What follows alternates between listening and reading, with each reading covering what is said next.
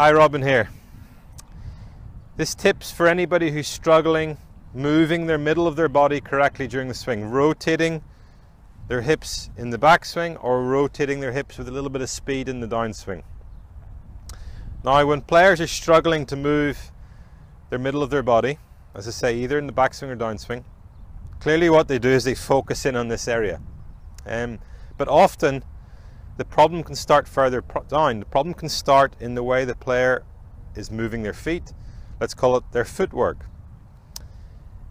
The correct footwork is very important to be able to move your lower half correctly and then in turn your upper half and the way your arms are moving and the way the club's swinging around your body. So incorrect footwork can really set off a bad chain reaction all the way uh, through your body and into the way your arms and your club are moving.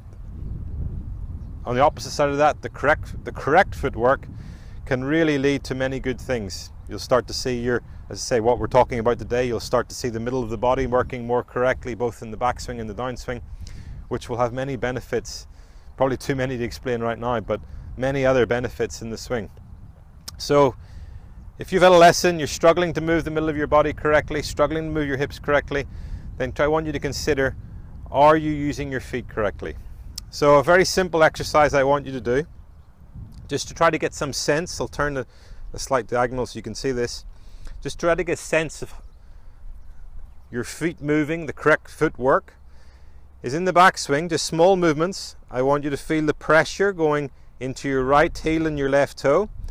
Now what you can actually do in starting this off is you can lift your right toe off the ground a little bit, you can lift your left heel off the ground a little bit. That's a slight exaggeration of the correct footwork, but it start, gives you a sense of how you should be using the ground to move your body. So that's the backswing. Downswing is just the opposite. We go right toe, left heel. Now you can see in doing that, my knees start to move, the middle of my body starts to move. It'll start to free up that rotation in the middle of your body. Do it with a little bit of motion, a little oil. Right heel, left toe, right toe, left heel. So just small movements. Getting a sense of how you're using the ground, how you're moving your feet. Big misconception is not to try to move your feet in the swing. Your feet are constantly moving. The pressure has to be moving around in your feet all the time for you, for you to be able to move your body correctly during the swing. So once you've got that sensation,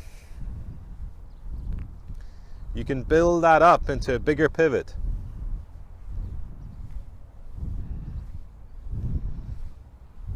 Now, this is a, I'm talking about the pure rotational component here. Of course, there's a little bit of a lateral component, which I'm sort of in this, um, in this tip, in this video, I'm not really focusing on, on that component. I'm focusing on the single component of trying to get a better rotation. But obviously there's a little bit of a lateral component there if you wanted to add that in. But get that sense, build it up, and then simply try to try to feel the same footwork when you're making your swing. That's sure to free up your lower body, get your pelvis rotating correctly in the backswing, allow you to rotate your pelvis with a little bit of speed coming down as I said, the correct footwork, the correct use of the middle of your body has got many benefits. So if you're somebody who's had a lesson in this area, you're struggling to move your middle of your body correctly, consider your footwork, give that drill a try. I hope it helps and uh, as always, thanks for watching.